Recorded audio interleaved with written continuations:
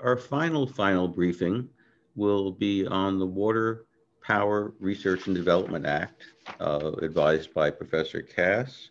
Uh, and the, uh, the briefer will be Anna Nicol Nikolova. And uh, if we're ready, uh, let's get started. Good morning, classmates, faculty, and guests. I'm Anna Nikolova, and today I will be presenting the final briefing for the Water Power Advancement Technology and Training Program. I would like to thank my teammates for this task, Jessica Kenny and Catherine Lynn, our managers, Rachel Goodgall and Drew Poling, and our faculty advisor, Lloyd Cass, for their help in preparing this presentation. Through today's briefing, you will understand the rationale and implementation plan for the Water Power Advancement Technology and Training Program. First, I will present a case study for water power implementation and describe the different types of available technology. Second, I will outline their associated challenges and opportunities. Finally, I will present the design and implementation plan for the program. It starts with a vision, a vision for a better world for our kids. One where we're no longer addicted to fossil fuels, where we have transitioned in a fair way to a green economy that works for everyone. New York City Mayor Bill de Blasio is one of the many leaders prioritizing the energy transition by investing in hydropower. With the closure of the nuclear plant at Indian Point next year, New York City's dependence on fossil fuels for electricity is projected to increase. This reliance on oil, gas, and coal produces greenhouse gas emissions and leads to global warming. Related pollution and extreme climate events have outsized impacts on communities of color and low income communities in New York and beyond. To avoid increasing fossil fuel use, the state has approved the $3 billion Champlain Hudson Power Express or CHIPPY transmission line. CHIPPY is designed to connect the booming hydropower generation industry in Quebec, Canada to New York City through an underground cable installation. You can see the route highlighted in red on the top left. Once completed, this project has the potential to supply 17% of the city's daily power demand and will create 2,000 New York jobs. Its budget also includes $117 million for an environmental trust fund. Chippy shows that hydropower can provide large scale clean energy and that importing power from Canada may be a missed opportunity to develop American energy resources.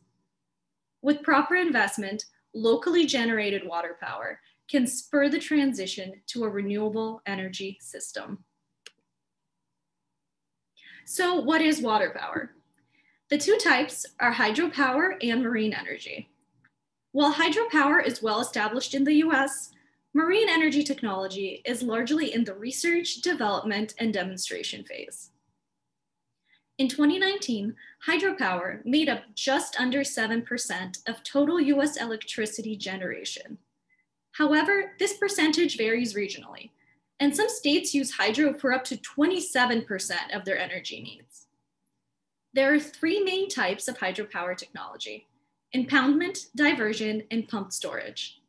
Electricity is produced when energy from free falling water spins a turbine that drives a generator.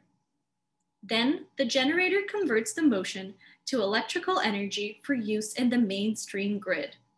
The photo on the left is of a diversion dam in Oregon. In contrast, marine energy technology is undeveloped at a commercial scale. Examples of marine energy are the kinetic energy from waves and tides, and the energy produced by differences in salinity and temperature gradients in the ocean.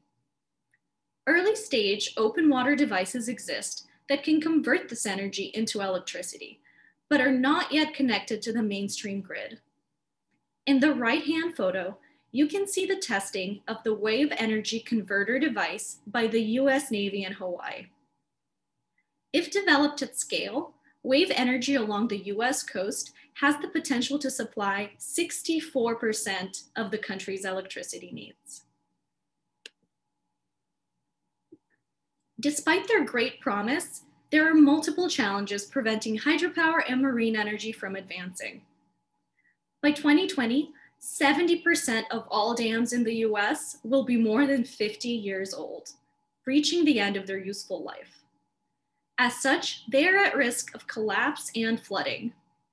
In the photo on the left, you can see the collapsed Sanford Dam in Michigan that forced the evacuation of 10,000 people in May of this year. Another challenge associated with hydropower is the slow permitting time for new projects, upgrades, and retrofits. These approvals can currently take from five to 10 years. As a new technology, marine energy faces a different set of challenges. Oh. As a new technology, marine energy faces a different set of challenges to achieving utility scale. To reach the next phase of development, it will need a massive injection of capital from the public and private sectors. There are also several issues shared by both sectors. Water power is experiencing a shortage of skilled workers at every level. With the anticipated growth of this sector, these workforce needs will only increase. Additionally, Black, Indigenous, and people of color individuals institutions, and communities are underrepresented in research and development, specifically in who receives funding and who benefits from the applied technology.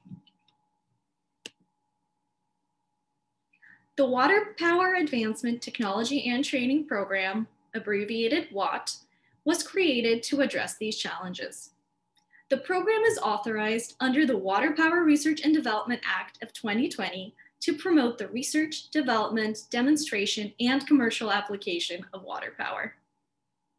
To achieve this objective, the bill appropriates about $150 million per year for the Department of Energy's Water Power Technologies Office and for grants to National Marine Renewable Energy Centers.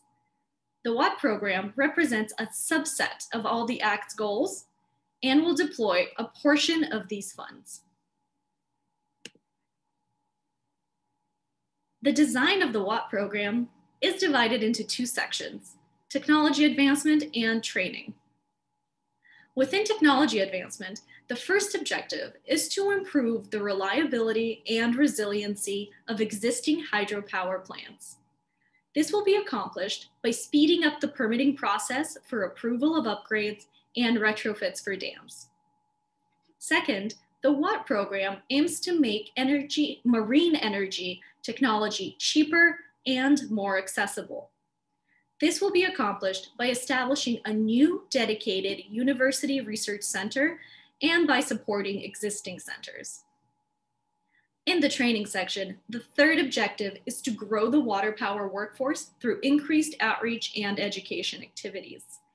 This will be accomplished by sponsoring and promoting internships and fellowships at all levels of the sector. The final objective is to increase equity and inclusion in research, development, demonstration, and application of water power. To reach this goal, the Water Power Technologies Office will redesign its grant making process to award more contracts to underrepresented groups.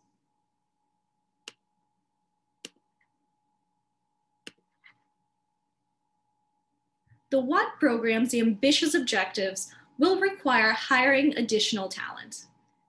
Our proposed staffing plan involves creating four new positions within the Department of Energy's Water Power Technologies Office. First, a liaison to the Federal Energy Regulatory Commission, which is the government entity responsible for issuing hydropower permits. The liaison will work in consultation with the Commission's office and relay their progress of reducing bottlenecks in the permitting process. Second, an administrator to manage the new National Marine Renewable Energy Center contract. Next, a workforce development program manager to launch the proposed fellowship and internship programs. And finally, an equity and inclusion contractor to develop processes for increasing diversity and staff and funding allocation.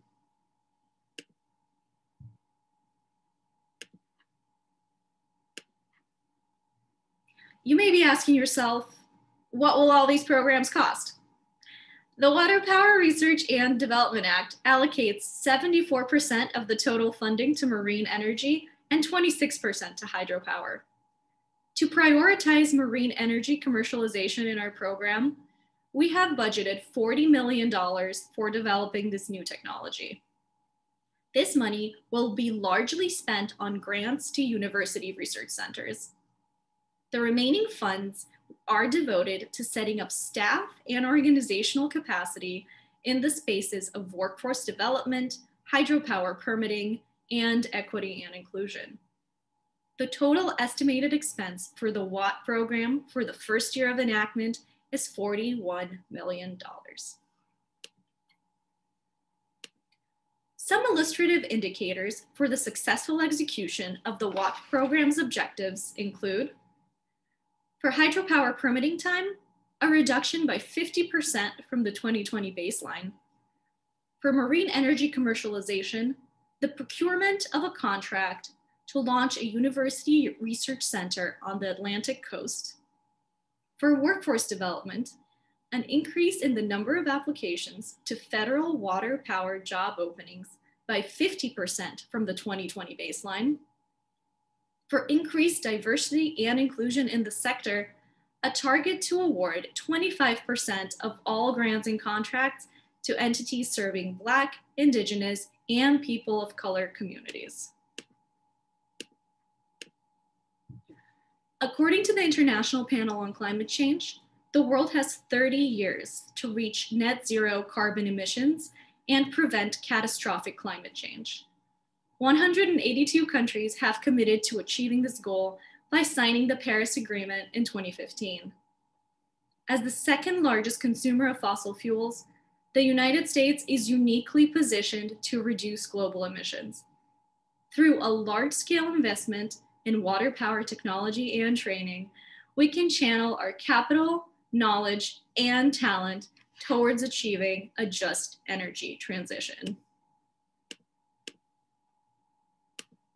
I would like to thank the entire team that contributed to this workshop over the past two semesters, and especially our advisors, Professor Howard Apsan and Professor Lloyd Cass, for their expertise and guidance.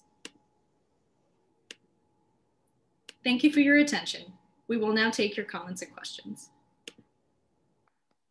Thank you, Anna. Very nice. Excellent job. Uh, Stephanie, do we have any raised hands among the group? I see Ariella has raised her hand. Yes. Ariella, you should be able to unmute now.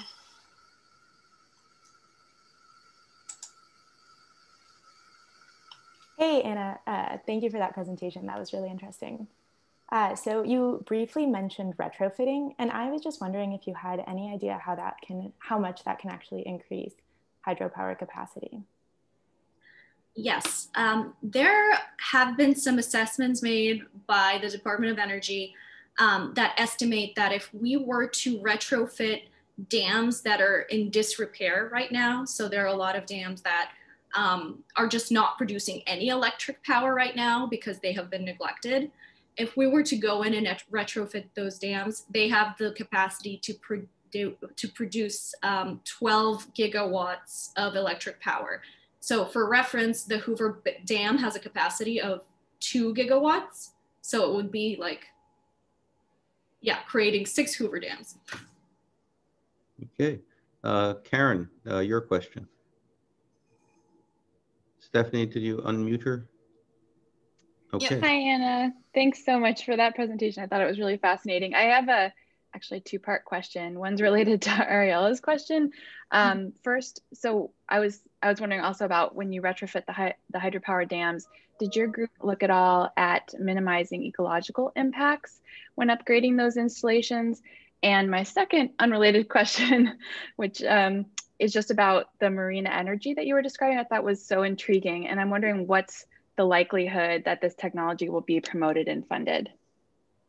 Yeah, absolutely. To answer your first question, um, with retrofitting, the great thing is that um, these dams already exist. So if you are not building a new dam, so you are not actually disrupting the environment um, in that way because the infrastructure is already there.